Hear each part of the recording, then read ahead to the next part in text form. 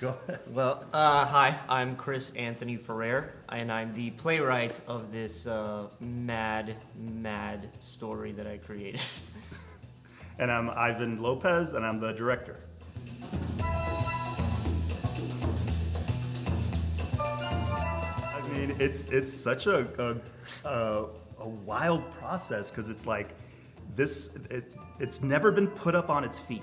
You know, mm-hmm. it was something that started in Chris's head, and it's on paper, and then you read it, and then as it starts to to come together, there's like this magic. You know, and it's just fun to experience that.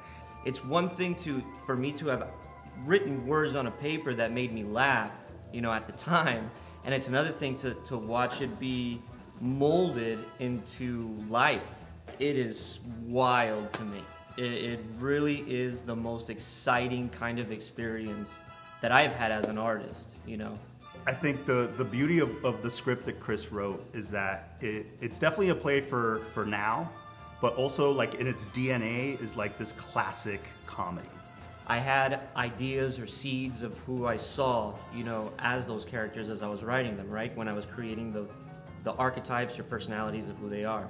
And now, for the first time, having these actors come that are doing a phenomenal job bringing them to life, that it makes it so much more real and concrete for me.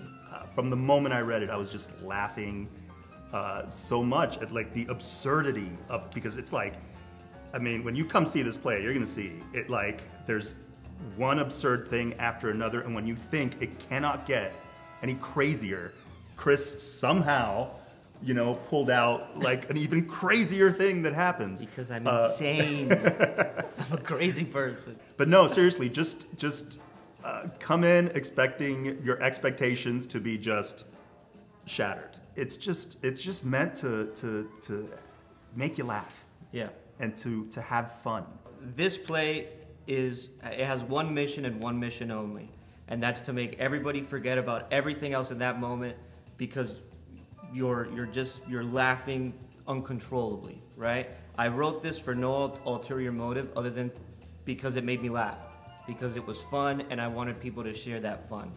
And that energy i'm very confident is going to transcend into anybody that sits down there. And that's that's what it's all about